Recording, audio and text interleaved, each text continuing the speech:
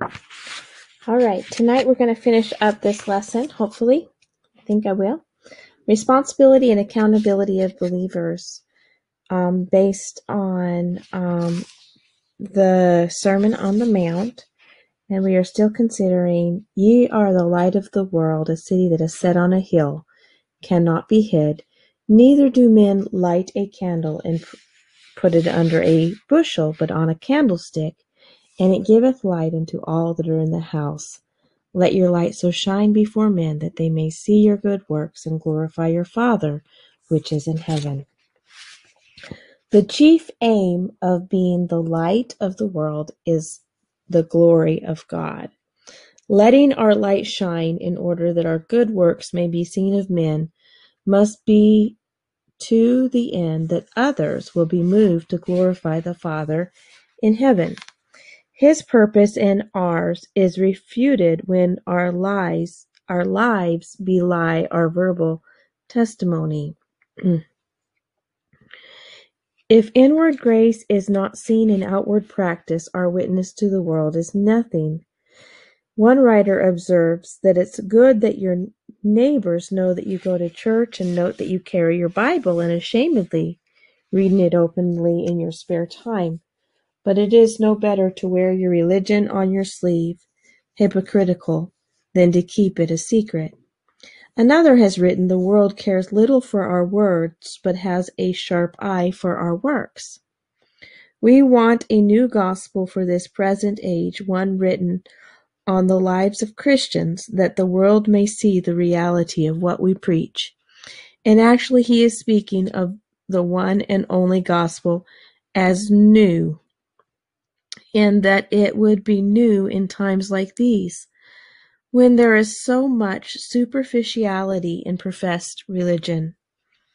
Such certainly does not glorify the Father in heaven. One may be very prestigious in his small inner circle, or in his own local church. He may be famous in the congregation.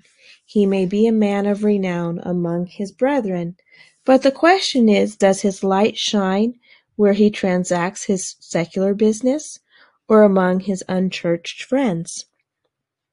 Relevant passage by Paul says, Work out your own salvation with fear and trembling.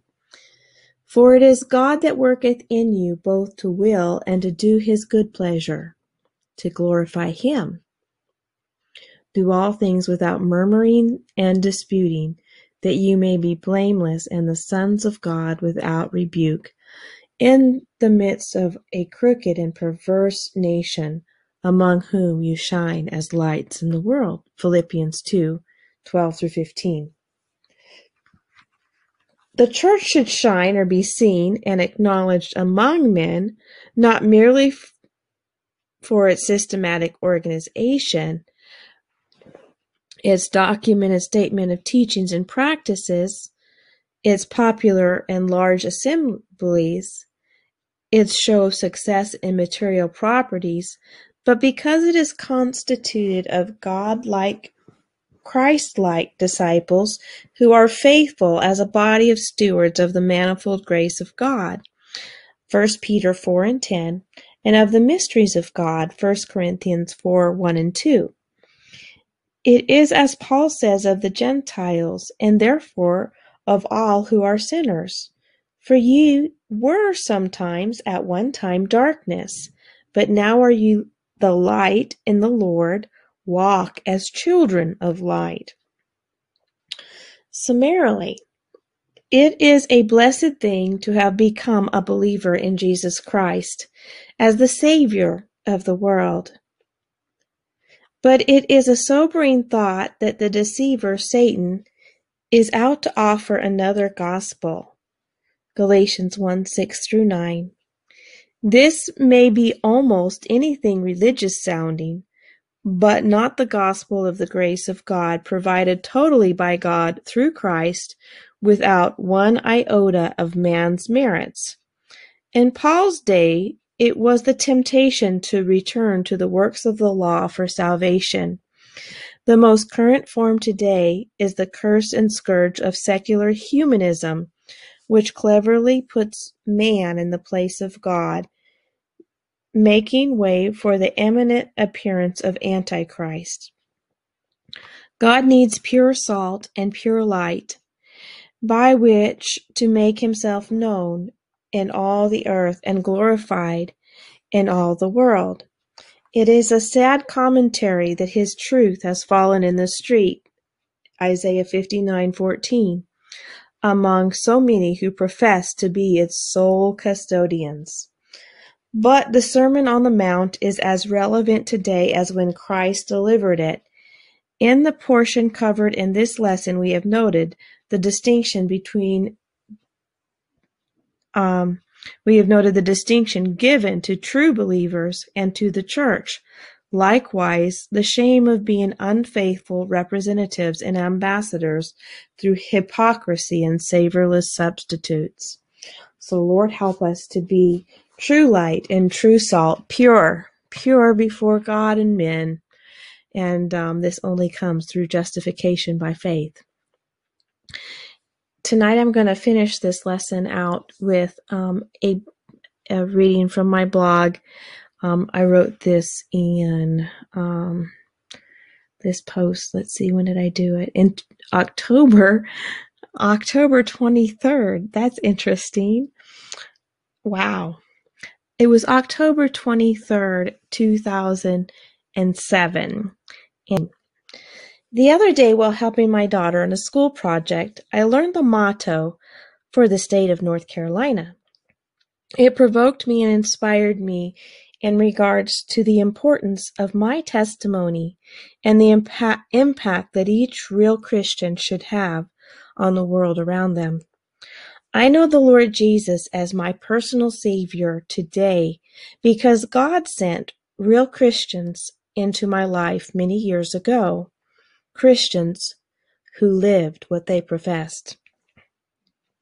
I wrote a poem in memory of the woman instrumental in leading me to the Lord called "The Reflection of His Face". When I first met you, immediately I knew there was something different about you, something that radiated from deep within. You didn't waste your words as you gratefully confided, Because my Lord has saved me from my sins, I have great joy and peace inside. Astonished at your boldness, I knew not what to say, but oh, why did my heart tug so as I heard you pray. As I grew to know you, I could plainly see you lived your life to please Him who had made you free. Your relationship with Him so real, His awesome presence I would always feel when time with you I spent. Your shining example, a reflection of our Savior's face, was the ray of light that was shown to bring me to his grace. Many times I have wondered, Lord, do I radiate and reflect you to others as she did to me? The motto for the state of North Carolina is to be rather than to seem. And it provoked me with these questions. I'd rather be a dedicated Christian than to seem like one. I'd rather be a godly wife and helpmeet to my husband than to seem like one. I'd rather be a godly mother than to seem like one. I'd rather be concerned for the lost and the hurting, the dying, than to seem to care. The list could go on and on. It all stems from two commands that the Lord Jesus said, On these two hang all the law and the prophets, to love the Lord thy God with all thy heart, not in word only, but in deed and truth, and thy neighbor as thyself. The missionary Hudson Taylor, in Concern for Souls, said, The inconsistencies of Christian people who, while professing to believe their Bibles, yet content to live as they would if there were no such book, has been one of the strongest arguments of my skeptical companions. A good question to ask ourselves is this Do I live what I profess? There is a difference between profession and possession. O Lord, let my life be totally possessed by you.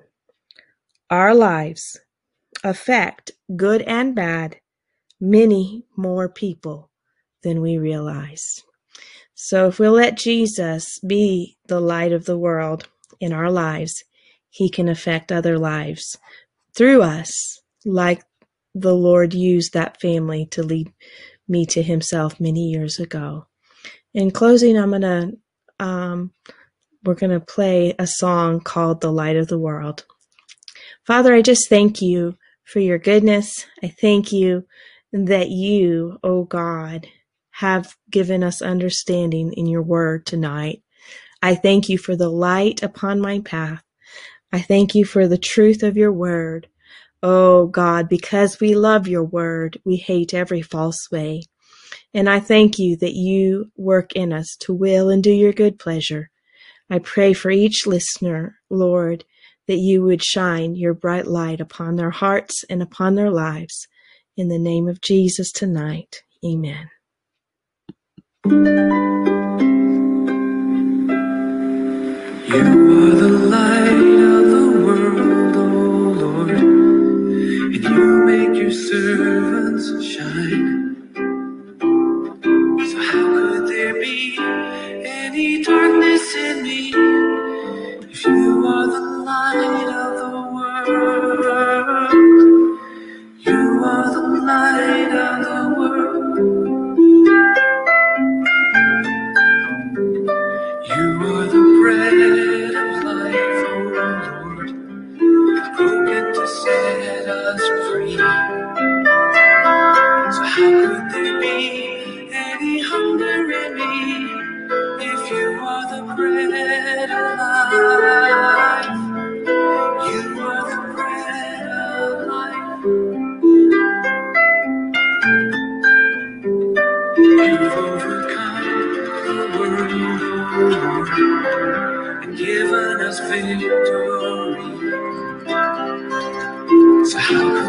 Fear